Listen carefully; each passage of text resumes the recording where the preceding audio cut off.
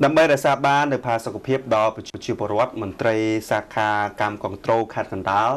កាលពីព្រឹកថ្ងៃទី7ខែតុលាឆ្នាំ2015នេះគឺបានដឹកនាំកម្លាំងចុះទៅត្រួតពិនិត្យគុណភាពចំណីអាហារនៅផ្សារគូគីស្រុកគៀនស្វាយលោកស្រីយួសុខាអនុប្រធានសាខាកម្មគ្រប់គ្រងខេត្តកណ្ដាលដែលដឹកនាំផ្ទាល់បានឲ្យដឹងថាក្រោមបញ្ជាពីអាដាមមកបច្ចរិតប្រតិភូរាជរដ្ឋាភិបាលទទួលបន្ទុកគណៈយុវដ្ឋានកម្មគ្រប់គ្រង មន្ត្រីសាខាកម្មគ្រប់គ្រងខេត្តកណ្ដាលត្រូវចោះត្រួតពិនិត្យចំណីអាហារឲ្យគ្រប់ទូទាំងខេត្តកណ្ដាលហើយនៅថ្ងៃនេះបាទគឺចោះមកចំណុចផ្សារគគីស្រុកខៀនស្វាយលោកស្រីបានបន្តថាការចោះត្រួតពិនិត្យថ្ងៃនេះគឺមន្ត្រីកាប់គ្រប់គ្រងពុំរកឃើញថាមានចំណីអាហារណាដែលខូចគុណភាពឡើយ